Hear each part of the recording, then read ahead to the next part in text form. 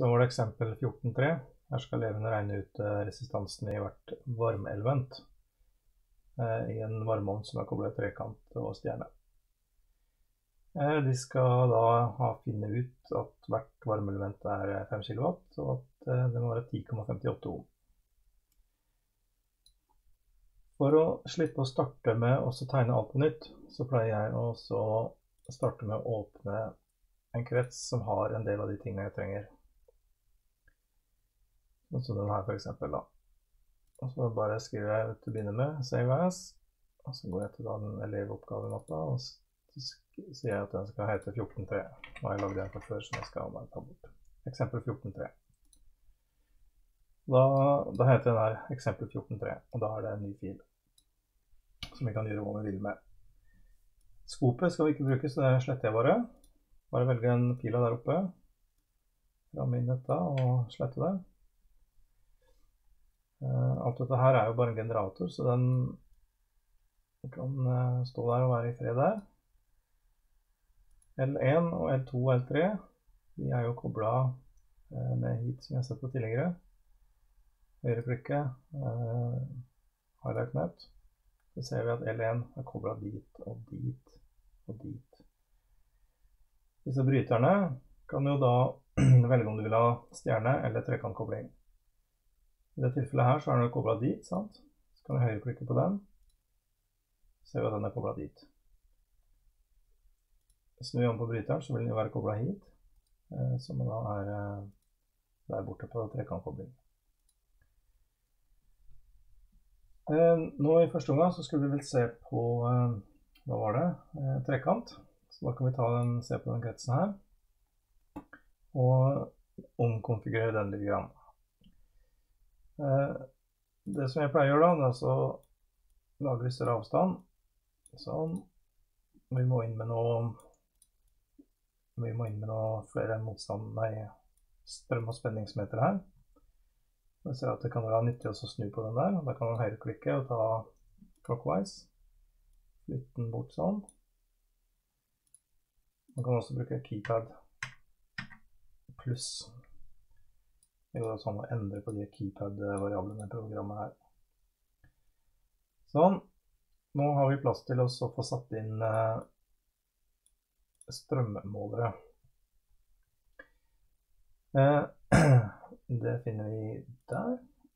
AC ampermeter. Du ser det ble ikke nok plass her. Høyreklikker for å bli kvitt den.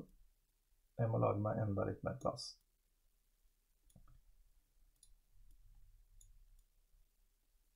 Sånn. Da tenker jeg vi skal få plass til den. Da kan jeg bare legge inn en der. Og en der. Og en her. Eh, og så skulle eleven regne ut, at dette ble 10,58 ohm. 10,58. Husk på å bruke punktum. Kontroll A, kontroll C. Kontroll V. Ctrl-V. Og vi skulle jo teste dette her i stjernekobling etterpå også, så da tar jeg og endrer på de i samme slengen. Og så ser vi at den er nå kobla til Y, så det er feil. Da kan vi sette bryteren over til eh, eh delta, står det vel for her, da. Sånn. Feil. Skal vi se. Feilmelding. Uh, error. Hva har jeg gjort for noe nå? Uh, se der. Ja, feilen er her. Her ser vi at det ligger en ledning bak det ampermeteret mitt her. Det kan jeg se på hvis jeg flytter ampermeteret også. Så ser vi at det ligger en ledning bak der. Det skulle egentlig ikke skjedd. Jeg skulle egentlig kunne sette ampermeteret på en ledning. Men det spørs om det klikker litt, om han var for nærme. Så hvis jeg har nok plass, så kan man gjøre det.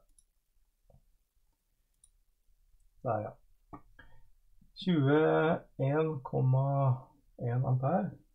Stemmer det? 21,7 skulle det være. Så her mangler det litt. Hva kan det skyldes? Kan det være motstand i bryterne?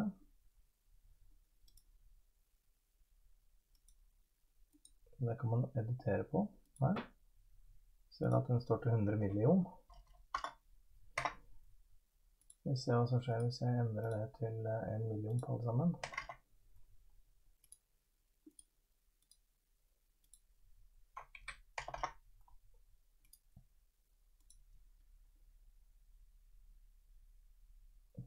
Bryter dem over i andre posisjon. 21,7, ja. Det stemmer. 21,7 ampere. Eh, neste oppgave det var å se på hvordan dette her ser ut når de er kobla i eh, stjerne. Ja, Vi kan ta med fasespenningen her, da. Hvis man vil måle fasespenningen også, så, eh, så er jo det et AC-voltmeter. Noen ganger så kommer ikke den. Du ser at det kommer ikke noe nytt eh, meter her. Bytt sånn, eller en av de andre, og så tilbake igjen. Så kan man velge da nytt. Vi skal ha DC, nei AC-voltmeter i nå. Jeg vil måle over den der.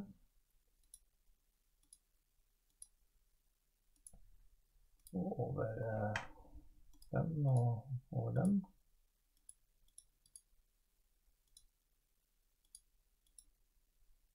Sånn, og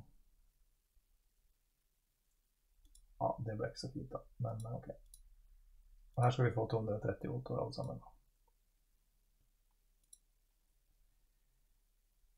Ja, det fikk vi. Nå skal vi gjøre samme jobben på stjernekoblet. Ja, jeg pynta litt på den her oppe, så den er veldig finere. Mer kompakt. Scrollemus er viktig. Det er sånn man navigerer rundt her. Så navigerer og zoomer og scroller inn og ut på det området man skal jobbe. Eh, jeg skal legge inn eh, strømmålere på stjernekoblinga. Så jeg starter med å få dette her litt uh, lenger fra hverandre. Bruke sånn. Og så skal jeg ha en strømmåling på alle de her fasene her. Så jeg drar de litt opp. Og setter da inn eh, en eh, AC-ammeter.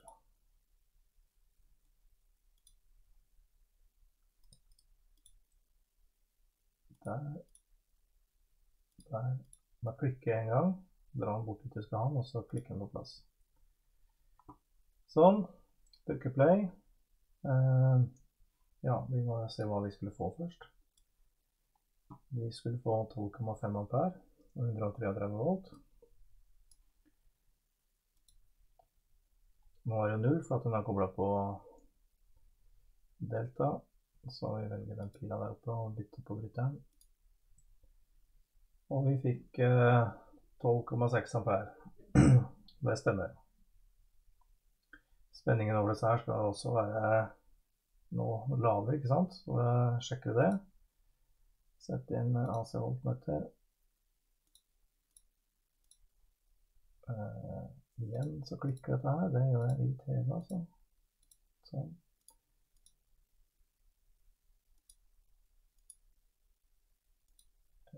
Måler vi spenning over en motstand. Og vi får 133 volt.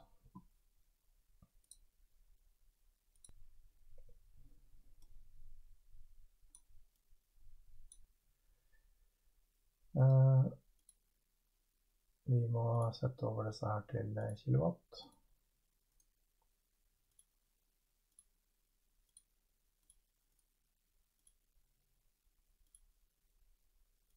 Sånn. Og så har vi effektmåling.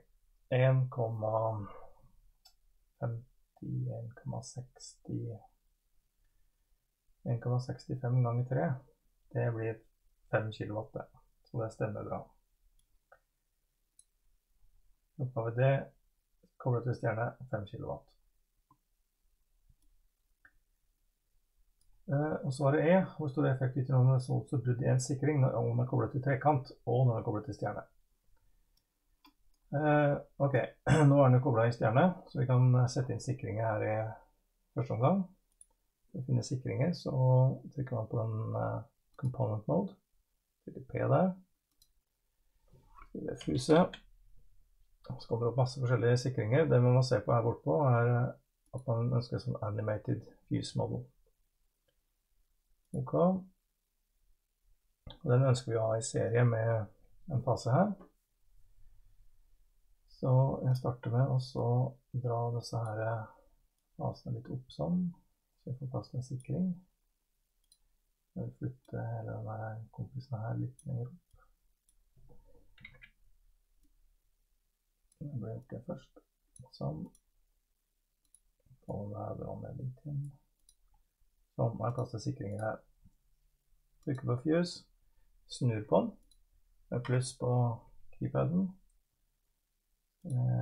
Klikke inn disse sikringene. Uh, edit properties på dem. Så kan jeg sette to stykker til 20 ampere, fordi jeg ønsker ikke at de skal ryke. Den siste den står til uh, eh, 1 ampere. Så den vil jeg sikkert ryke da. Og her ser jeg at den blir rød, det er røyken. De andre blir litt varme, men de holder. Og vi ser at effekten i det ene varmeelementet her blir jo null, selvfølgelig.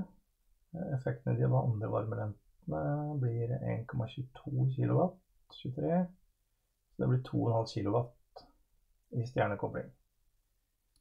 Så ser vi på brettboka så stemmer det 2,5 kW med brudd på ene sikringen. Eh, man kan også tegne opp dette da på tilsvarende måte her oppe. Jeg tror ikke jeg gjør det på denne videoen her. Det, kan, eh, det burde være ganske greit. Da har vi gått gjennom eh, alle de oppgavene her. E, ja. Så da får det bli denne den videoen her.